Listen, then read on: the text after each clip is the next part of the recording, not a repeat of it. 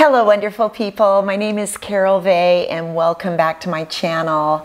I just want to say thank you to all of you who are out there listening and commenting and encouraging me. Sometimes I'll receive really negative comments, and then after that, I'll come to something that you might have written, and you don't know how it just lifts my spirits. Many are saying that I'm just doing this to make money, and I actually am not making a single penny from this. I have not decided to monetize this channel yet. And if I do so in the future, especially since they're playing commercials on my videos, then it might just be to reimburse myself for all of the equipment that I purchased.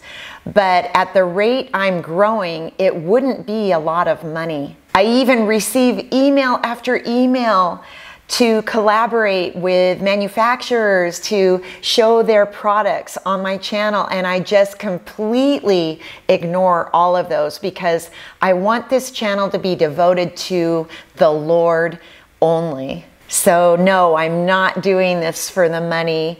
And another commenter even said, Who do you think you are? And I answered and said, I'm a nobody but I serve the Lord of Lords and the King of Kings, and, and He is coming back soon. So, some of you who have been with me for a long time have heard my testimony already. So, today might just be a review for you. But with so many new subscribers who I love and appreciate so much, I wanted to let you know the story behind why I'm here and why I'm talking about end times. And on one side, I I don't like to share this because I don't want it to be about me, but my testimony isn't about me. It really is about our Lord and Savior. I was raised going to church with my family, a Methodist church. And so I had this vague, distant belief in God that He was out there somewhere. And even as a younger person, believed that thousands of years from now, he might be coming back. But my salvation and my walk with the Lord really began as an adult. After our first baby boy, Spencer, was born, he lived for two hours and he was in the neonatal ICU for about two hours before he passed away. It was really at this point that I decided God can't be real. He would never let this happen to such a good person. And of course, looking back, I wondered what made me think I was such a good person. Many friends and family were trying to comfort me, and even Christian friends were trying so hard to lead me to the Lord. And a close friend of mine even invited me to a Bible study. And I really love this friend so much that I did want to please her, and I decided to attend the Bible study. But I literally told everybody there that I did not believe that Jesus was real and that if he was real, I would need to see a big miracle, like those Old Testament miracles, like the parting of the Red Sea. After all, why did these big miracles seem to happen so many thousands of years ago and yet nothing like this ever happened in these current days? One of the daily exercises in this Bible study was to read Jeremiah 17 14 which says, Heal me, O Lord, and I shall be healed. Save me, and I shall be saved, for you are my praise. And I would read this scripture throughout the day, put it on post it notes around our house so we could be reminded of it throughout the day. And I went through all the exercises as a non believer, almost with the hopes that I could prove that the Bible was wrong. In one section of this Bible study, we went through the story of Joseph and his brothers from the book of, of Genesis. And we know that Joseph was rejected by his brothers. He was almost killed. He was sold into slavery. He was arrested for something he didn't do. And then he was exalted to second in command over all of Egypt. And he was the one responsible for saving his brothers when they were going through a famine in their country. And while going through this story, the study took me to Romans 8:28, and we know that all things work together for good to those who love God, to those who are the called according to its purpose. And this was relating to the redemption in Joseph's life and him forgiving his brothers and how it all worked out for the good in their family. And at this point, I knew that Jesus Christ is the same yesterday, today, and forever. And so suddenly I was thinking that with the story of Joseph and all these hard things led up to him saving so many people combined with Romans 8:28, which was written so many years later, and knowing that Jesus never changes, I suddenly believed it was all true. And I'm sure that that would have been enough. That would have been the miracle that I was looking for. But the Lord had heard me saying, I will not believe unless I can see a miracle. He allowed me to literally feel the baptism of the Holy Spirit. And I'm not talking about speaking in tongues, I'm talking about the Holy Spirit filling up every inch of my body. I experienced this. To me, this was just like the parting of the Red Sea. It was so miraculous. I went from unbelief to belief in that moment. And this is what repentance really is. A couple days after this, I dumped out every bottle of alcohol that was in my house, which is kind of another miracle in itself since drinking had been a big part of my life. We had had two more children at this point who were four years old and five years old. And yet, just a few weeks after I dumped out all that alcohol, I learned that I was pregnant with our third child, our fourth if you count Spencer, but our third child five years after my husband had had a vasectomy. I believe this is the Lord putting the icing on the cake with the miracles that I was demanding in order to believe. Because I had spent so much time studying the Bible and trying to prove that it was false, studying it as a non believer, I thought I knew so much about the Word of God. And looking back, I could see that I had a haughty spirit. And in Proverbs, we read that pride goes before destruction and a haughty spirit before a fall. And I was so proud of myself that I had quit drinking before I learned that I was pregnant. And yet, even while I was pregnant, the enemy was trying to deceive me. Did God really heal your drinking problem? Or maybe you were just supposed to quit drinking while you were pregnant. Maybe you can go back to drinking after this baby is born. It's almost like the enemy was trying to twist God's words. And he did the same thing to Eve in the Garden of Eden. Now the serpent was more cunning than any beast of the field which the Lord God had made. And he said to the woman, Has God indeed said, You shall not eat of every tree of the garden? So after this birth of my third living child, my fourth baby, I did begin drinking again and I drank at least a bottle of wine every day for 25 years. There may have been maybe five to 10 days in that 25 years where I didn't drink anything. I always hid my drinking from my church family and continued attending and serving at church on a regular basis. But this is something that God had so obviously healed me of right after I was saved. And I am not judging you if you enjoy a drink now and then, but if you struggle with alcohol, God can help. So, as the years progressed, I was feeling more and more convicted by the Holy Spirit about this.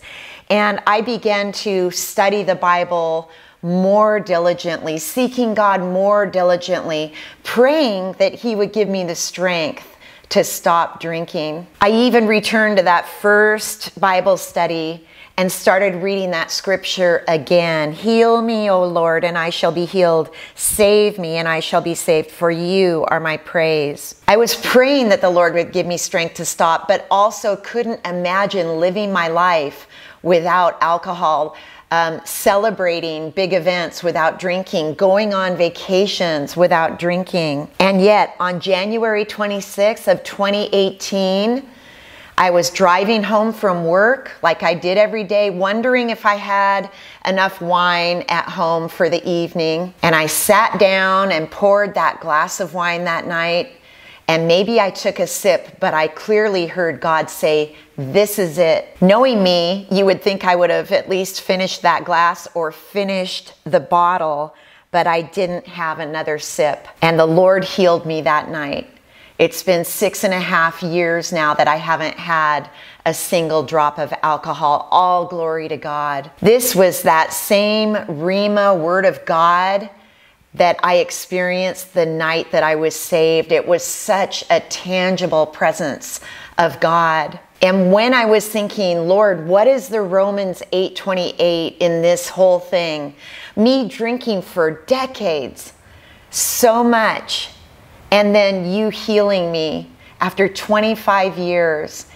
And I felt like it was because the Lord knew there were so many Christians out there struggling with long term addictions or, or struggles in their lives. And He wants you to know that it's never too late for Him to heal you of those things. It was about this time that the Lord put so much on my heart about Moses and what he had gone through.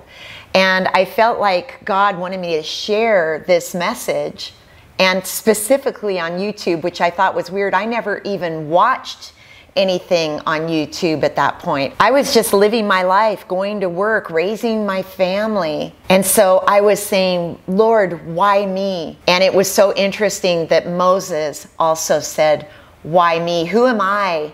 that I should deliver the children of Israel out of Egypt. And the Lord put a scripture on my heart with regard to the healing that He gave me. And Moses said to his people, Do not be afraid. Stand still and see the salvation of the Lord, which he will accomplish for you today.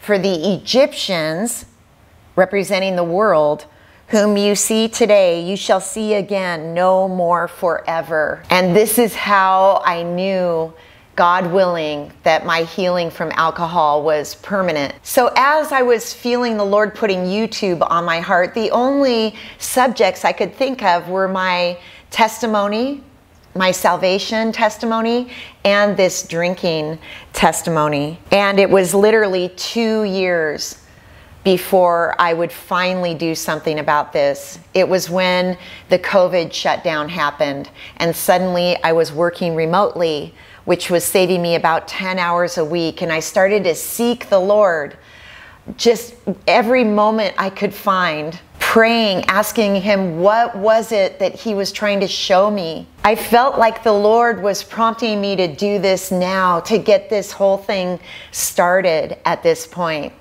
And yet I just couldn't imagine what I would talk about. I knew it was about God. I always wanted the Lord to know that He could depend on me if I felt Him calling me to something. So between March and June of 2020, I stopped everything that was optional and just was seeking after God with everything I had. So at this point, I did get on YouTube and started looking even for videos that would teach me how to start a YouTube channel, how to film, how to edit, what type of camera to use. But I was also running across many Christian videos and watching those and learning more. And I was running across videos about people having dreams about the rapture. And my only experience with the rapture was when something really, really bad would happen in the news. I would think to myself, wow, maybe the rapture is about to happen. But again, I was thinking it was thousands of years in the future. And I had never done much study on end times and the rapture of the church. But I was blown away by the number of videos I was finding about people having dreams about the rapture. And many who were sharing these dreams were also sharing the gospel, which I thought was so cool. I even heard one prophet, self proclaimed prophet from the UK, sharing or praying that she saw many rising up who would share the gospel and speak about God's coming judgment, and that there would be a group of these people talking on YouTube. And I was even saying to myself, wow, I'm not that brave, but I wonder who those people are. So I had seen several of these videos regarding the rapture of the church, and yet it hadn't really changed my life at that point until one night at the end of June in 2020. In one of these videos, this person had dreamt about the rapture and then felt God leading him to share it on YouTube.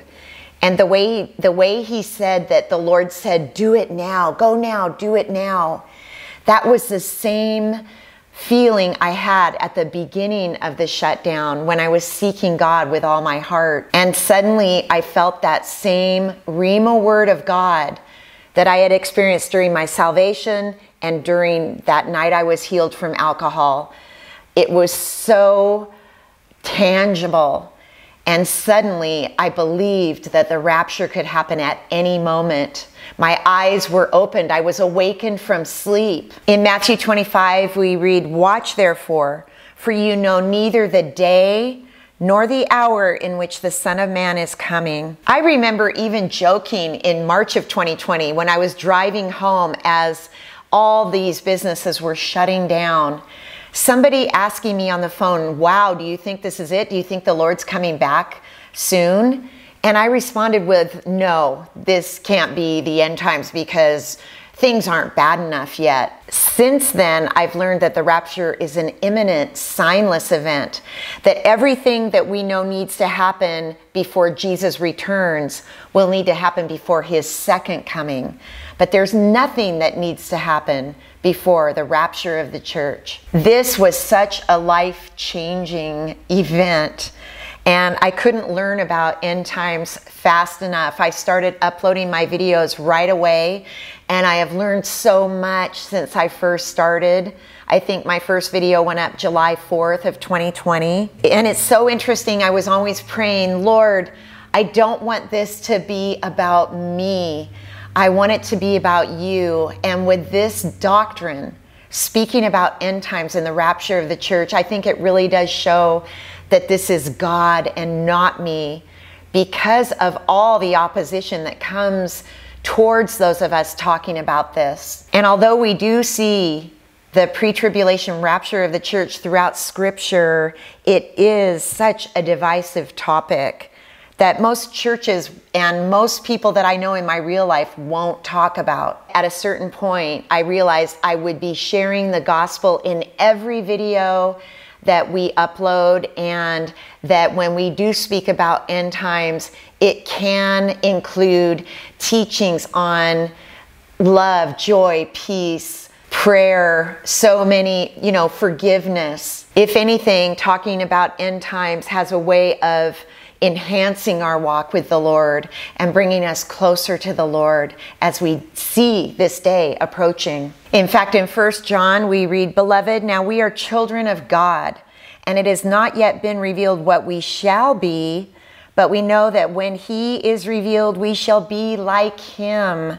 We shall see Him as He is, and everyone who has this hope in Him purifies himself just as he is pure. And although I have learned in these recent years that we cannot lose our salvation, we do go from glory to glory. And I'm sure some of you who do see this day approaching find yourself wanting to walk a life more pleasing to the Lord. But He paid it all when He died on the cross for our sins.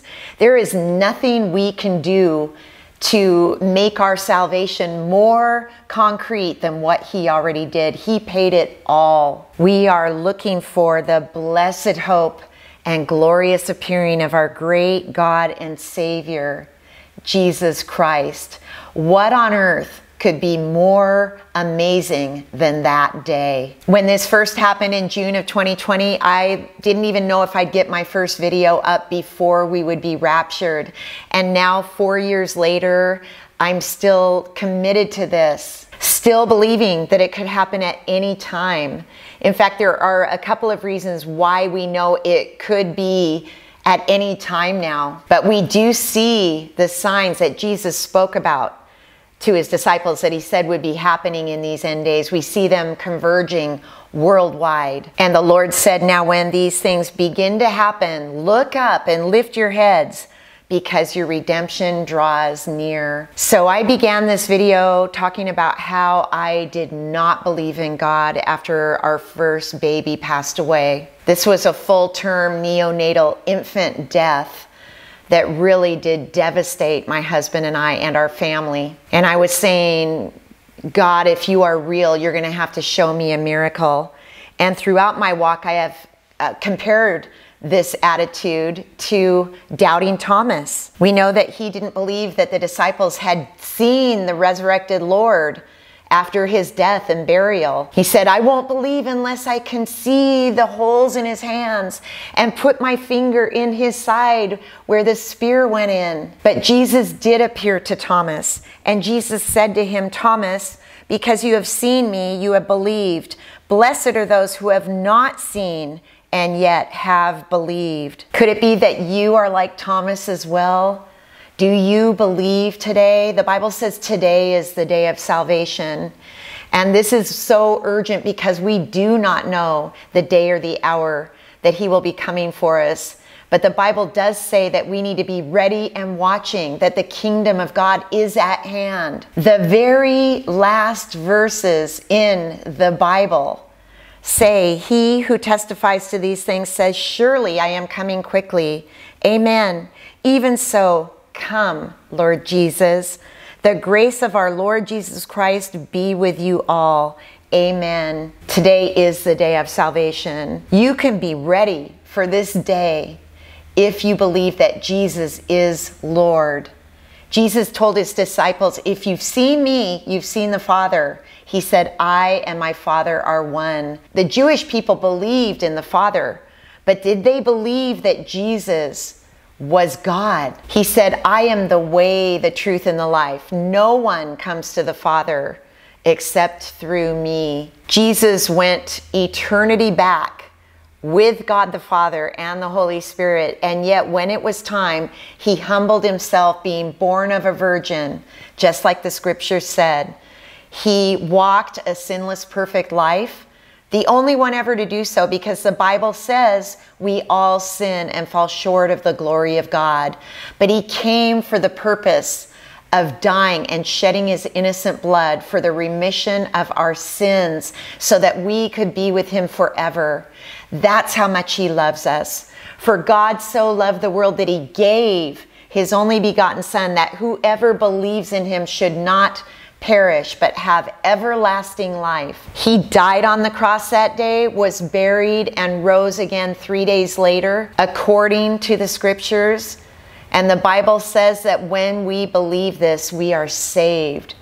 And when we believe, we are sealed with the Holy Spirit of promise, who is our guarantee until the day of redemption. And I believe that that's speaking about the rapture of the church. The Holy Spirit is our promise, our guarantee. It's like the Lord putting an engagement ring on us, saying that He's going to come back for His bride. So I pray that you are believing this today. If you are turning to the Lord now, then praise God. This is the day that the Lord has made, and we will all rejoice and be glad in it. And I'm praying for you as well as anybody who might be watching this video right now that the Lord touches you right where you need Him today. He loves you so much, no matter what you might be going through. And I pray He does give you that peace and comfort that really does surpass all understanding. And I want to thank you for joining me. I really do love and appreciate all of you so much. And God willing, I will see you in the next video or I will see you in the air. So take care and God bless you.